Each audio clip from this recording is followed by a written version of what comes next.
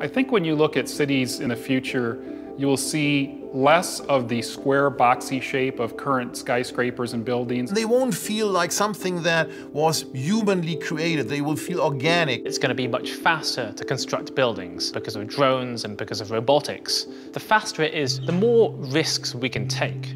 Once we're actually able to 3D print a wall, we no longer have the need for flat walls.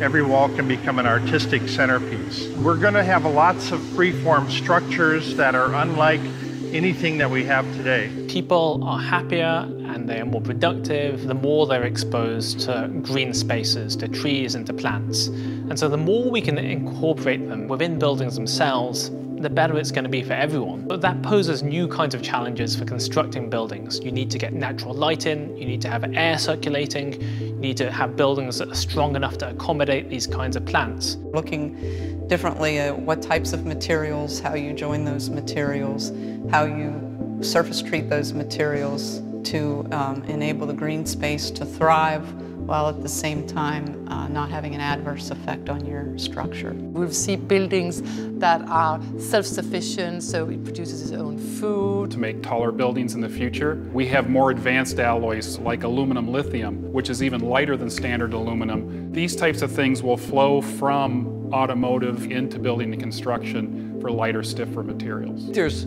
no limit to how tall we're going to make the showcase buildings. Active surfaces, surfaces that can clean itself. We have introduced a technology that's called EcoClean. It pulls pollutants out of the air, and as the rainwater washes the building, it washes away the pollutants. The whole drive for net zero energy consuming buildings, for a building potentially actually producing energy, that is not far-fetched. The structure will be not just passive, but responsive and reactive to what's happening to the structure throughout its, its life. Engineered surfaces can be designed that they provide functionality to the building. They will be able to be self-repairing and they will also be much more shaped around human needs. And the addition of all these what I would almost call biologically inspired systems to make it adaptive. We create the future and we all have the capacity to be positive change makers. So why not start today?